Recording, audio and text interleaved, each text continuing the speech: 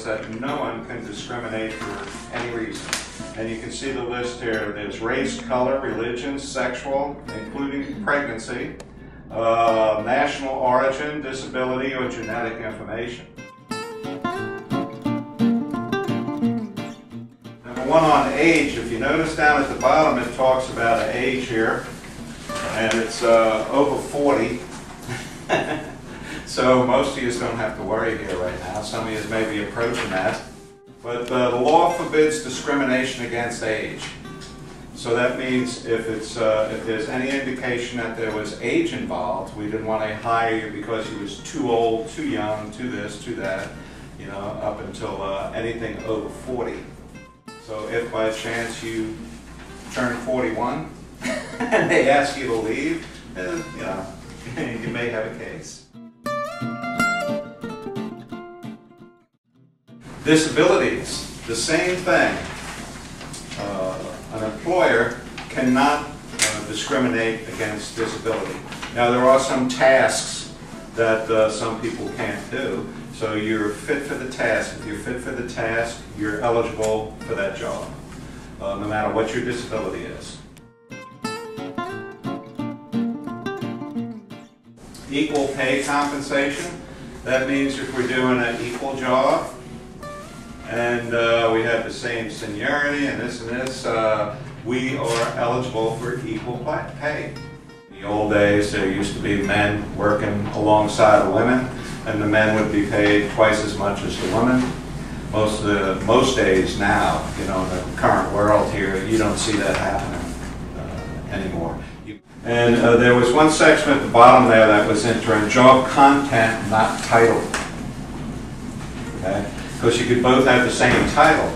But if your actual job content is different, one is a little bit more sophisticated or a little bit more critical, then it's not a comparison just because of the title.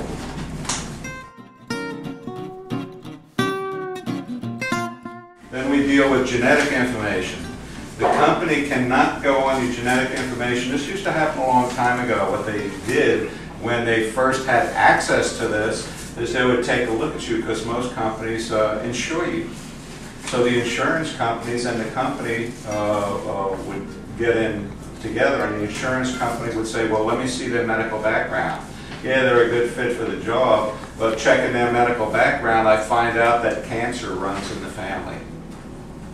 And they were actually, and that's why this law came about here, they were actually doing that so what happens is what happened is the law stepped in, the federal government stepped in and said, you cannot do that anymore.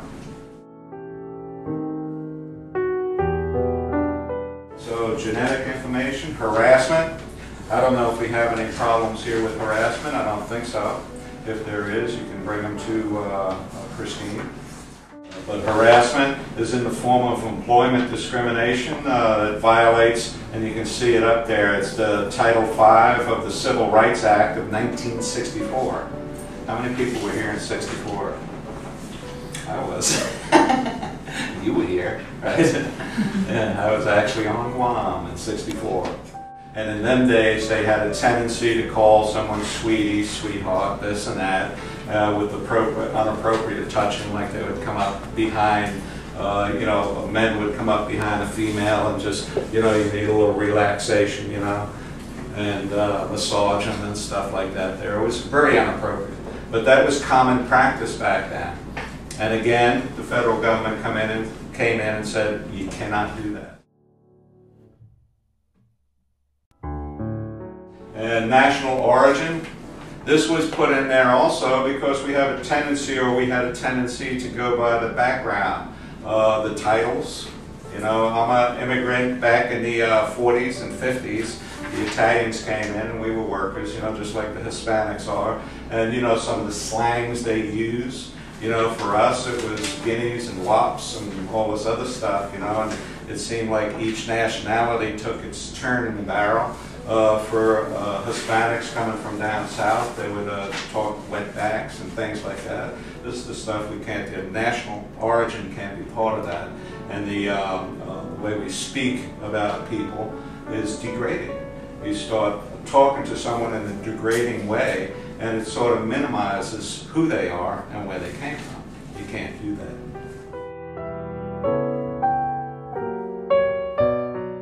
Backgrounds, race and color, obviously. And you see discrimination involves treating someone uh, unfavorable because he or she has a certain race because of a personal characteristics. And these can be such things as just the texture of the skin. You know, you hear it all, the time. They talk about the, the, the white people, you know, the brown people, black people, and this and that. And this is no, you know, that's a form of uh, discrimination. It's also a form of, of categorizing people to their uh, background of where they, even if they don't come from there, uh, if they have darker skin. I come from a family where my, both my sisters are uh, light-haired and blue-eyed, from the same mother and father, we think. you know, but the, uh, and I was, I'm sort of a lighter. My brother, you know, my younger brother, he was very dark. If you wouldn't even know that he was Italian, he was very dark. So our, you know, our, our culture and our background and the Italians have different levels. And so uh, the, my brother used to be taken for being black all the time, so he would be categorized as black, he would be categorized as this and that, you know.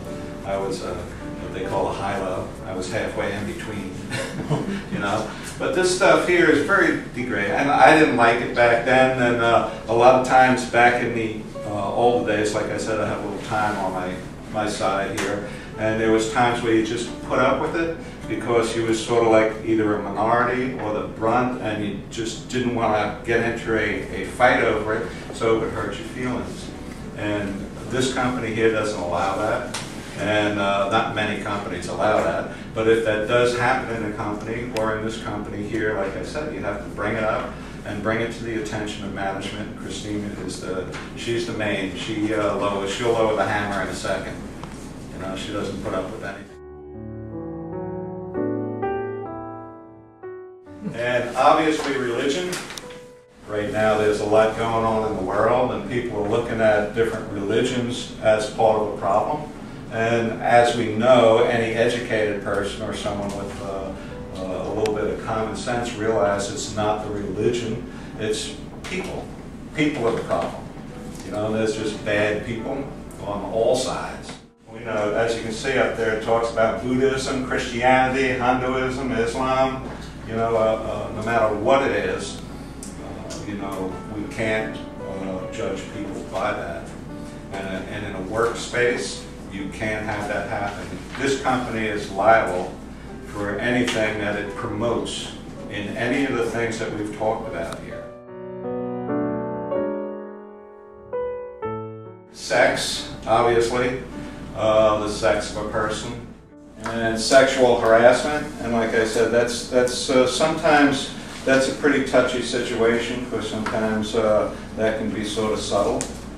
But if there's any uh, discomfort of anyone in here, you know, being uh, sexually harassed, it's unlawful. You know, and like I said, the company is liable. Harassment can include sexual harassment or uh, unwelcome sexual advances, request of sexual favors, and other verbal and physical harassment of a sexual nature. Like I said, inappropriate touching, even looking at, or talking to other people. Again, I keep saying this over and over because I want it to sink in that this company doesn't allow it. Even if there wasn't a federal law, I know it wouldn't be allowed in this company. And note, it's also illegal to uh, discriminate against a person because the person complained about a harassment. So once a harassment is made or a complaint, uh, they cannot be uh, discriminated because of that. Take that. Most employers with at least 15 employees are covered by the EEOC. Uh, I have the website up front. This is our local area here. I believe that you would fall under this category right here. If there was anything in the company that was uh, not within you, you can't get results in the company, or you think it's not being handled correctly or so forth. This is actually the organization that's downtown LA.